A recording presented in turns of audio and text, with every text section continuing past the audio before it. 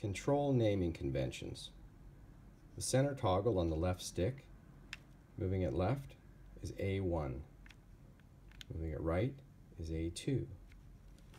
Reaching over to the paddle on the left stick, the top part of the button is B1, lower part of the button is B2.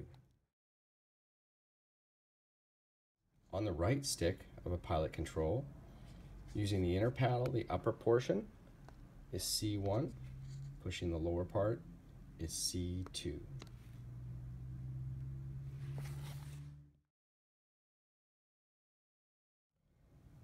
The naming convention for hand-foot control models.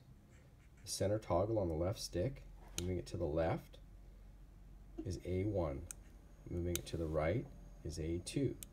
Reaching to the inner button, top portion is B1, lower portion is B2.